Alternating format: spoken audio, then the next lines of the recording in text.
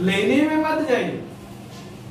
आप ऐसा बन जाइए कि वहाँ पे आपने बिना वो स्वामी न चले। फिर आप पाँच सौ पाँच हज़ार बोलते ना, सर, वे आप तो पचास हज़ार भी देने के लिए तैयार हो जाएँगे। जैसे अभी सर बोले कि जब सर को पचपन हज़ार सर बोले तो बोलते आपकी औकात नहीं।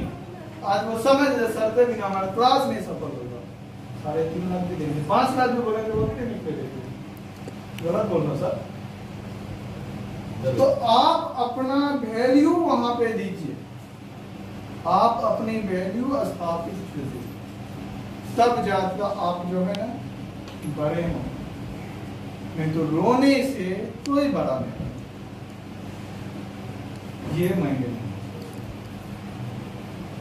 अब बोलना नहीं चाहिए। अगर हम लोग जिस तरह से है, अगर हम लोग सब साथ हो जाए ना एक प्रेमचंद यहाँ पे आ सकता है। अगर आप सब साथ है तो मैं बता रहा हूँ ये भारत में जो कोई नहीं कर सकता तो प्रेमचंद अवश्य कर। हमारा जो इरादा है, हमारा इरादा किसी से खाना नहीं, किसी का चुराना नहीं। सिर्फ़ ये चाहते हैं कि हमारे आसपास जितने भी इंसान हो, उसे किसी भी चीज़ की कमी ना हो। हमारा ये सोच। और वो इंसान खुद से बड़ा है। इसलिए मैं चाहता हूँ। जो भी सर बता रहे हैं, या हम बता रहे हैं, अगर सही लगता है तो फॉलो करना सही लगते तो फॉलो करना चाहिए। और नहीं सही लग रहे और जान रहे हम यहीं रहेंगे तो सर से डिस्कस करना चाहिए। तो ये जो बात आप बोले ये तो ऐसे सही है। और जब तक आप छुपे रहेंगे जब तक मुझसे आवाज़ नहीं निकालेंगे तब तक आप जीवन में बढ़ेंगे और एक चीज़ में सबसे बड़ी बात जो बता रहा जैसे टीचर आप ही करे नहीं हो। आज एक चीज़ आप और सर में और मेरे में देखते मैं एक वर्ड बोला कि मैं पंद्रह सौ रुपए महीने लेते पढ़ाता था। वो वर्ड मैंने बोला। जो आप वो वर्ड सुनते जो है इम्प्रेस होने सर पंद्रह सौ पढ़ाते आज तो एक दिन आप भी जब बोलना चालू करेंगे तो बोल सकती है कि मुझे आवाज़ नहीं निकल रहे थे और आज मैं यहाँ हूँ। ये होता है बदलने और ये जब तक नहीं बदलेंगे, तब तक नहीं होगा। बदलना पड़ता है।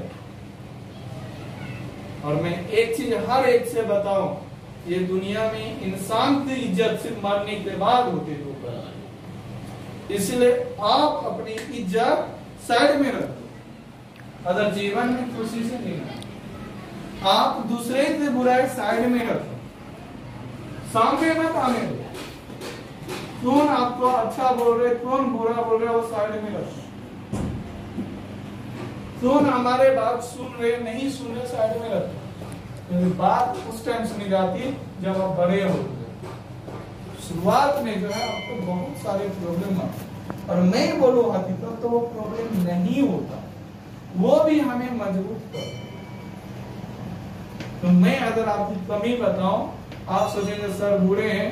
नहीं आपको मज़बूत करेंगे तो बड़े होंगे। इसलिए हमारी जो बुराई कर रहे हैं, उससे जो है हमें ये सोचना है कि हम मज़बूत कैसे बनू। सिर्फ़ ये सोच उनसे बुराई का हम सामना कैसे करें ये सोचिए। तब जाके फिर और एक चीज़ और बताना चाहूँगा जो मैंने महाभारत से सीखा था भागवत गीता से। तो, तो मेरे में एक ही बचा तो, तो मेरा ना समझाने वाले कोई है मेरे पास ना सलाह देने वाले कोई है ना कोई सपोर्ट है। लेकिन ये सब चीज़, जब भी मैं टेंशन में आता हूँ, कोई प्रॉब्लम में आता हूँ तो मैं भगवत गीता सुनता हूँ। जब भी टेंशन में चाहे मैं रात को भी टेंशन में रहता तो राधा देता सुनते सुनते सुनते। माइंड शांत उनसे मैंने एक चीज़ सीखा, अगर हम चाहे ना तो कुत्ती को भी ट्रेन कर सकते सिर्फ़ एक राह जो है ना, अपनाना होगा। जो हम लोग नहीं अपना होता है जिस तरह से पेट हमारा खाली होता है ना, तभी हम खाना खाते जब पेट खाली रहेगा तो ही खाना खा सकते हैं। पेट भरा है तो खाना नहीं खा सकते समझ में तो पहले हमें पेट खाली करना होगा तभी हम खाना तो जब हम बच्चे को पढ़ाना जा रहे हैं तो बच्चे का दिमाग ऑलरेडी पहले से भरा रहता है। बच्चे का दिमाग ऑलरेडी पहले से भरा रहता है। वो पढ़ते ही नहीं। आप उसका जो दिमाग है, वो खाली कीजिए। पहले उसकी बातें सुनिए। पहले उसकी प्रॉब्लम सुनिए। और बोलते नहीं खोद खोद कर पूछिए। जब उससे पूरा प्रॉब्लम सुन लेंगे, मुँह से आवाज़ बंद हो जाएँगे धीरे धीरे तब आप बोलेंगे, तू ही वो सुने। नहीं तो तब भी नहीं सुन सकता। सिर्फ़ आप बोलते रहेंगे, बस। सिर्फ़ बोलते हैं। लेकिन उसको माइंड में कुछ नहीं आता। जैसे अभी सारी आप सब तत्व प्रश्न पूछती है दो रीजन।